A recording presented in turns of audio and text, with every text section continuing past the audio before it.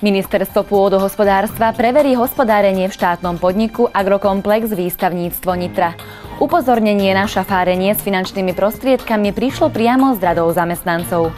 Bývalý technický námestník tvrdí, že bola zaplatená fiktívna práca, riaditeľ naopak hovorí, že všetko je v poriadku.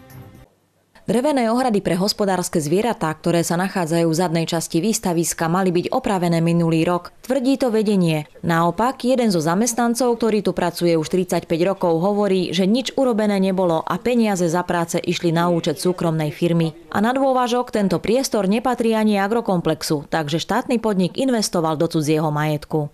Dostala sa mi do rúk faktúra, ktorej štátny podnik Agrokomplex Nitra vyfakturoval, vyfakturoval opravu kolíp a kotiercov vo výstavnom areáli a podľa môjho tvrdenia tieto práce neboli nikdy vykonané a objekty, ktoré sa opravovali, nie sú účtovnej evidencii štátneho podniku Agrokomplex výstavníctvo Nitra práce prevedené boli. A boli veľmi potrebné, pretože jednalo sa o opravu kotercov, o opravu zabezpečenia pre hospodárske zvieratá je drevo úplne prehnité, spoje sú e, rozídené, trčia z toho klince. Proste e, žiada si to základnú rekonštrukciu. Čiže práce tu určite minulý rok urobené neboli? No určite minulý rok, v roku 2012 sa tu práce nevykonali, svedčí to stav objektu. Riaditeľ hovorí, že obvinenia sú dôsledkom odvolania Jozefa Bučka z postu riaditeľa Poľnohospodárskeho múzea a neskôr aj technického námestníka. No obvinenia sú dané preto, pretože prišlo k istým eh, personálnym zmenám v našej firme pod mojím vedením.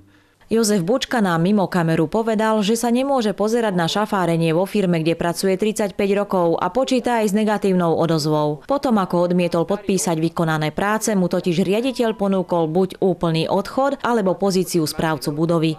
Riaditeľ jeho odvolanie potvrdil a zároveň dodal, že za tri roky svojho pôsobenia sa zlepšuje finančná kondícia agrokomplexu. Aj napriek tomu sa ministerstvo hospodárstva, pod ktoré výstavníctvo patrí, posiela kontrolu.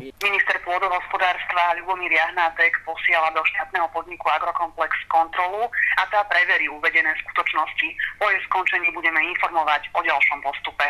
Vec už prešetrujú aj orgány činné v trestnom konaní, keďže Jozef Bučka zároveň podal aj trestné oznámenie na políciu. Jolana Čuláková, Západoslovenská televízia.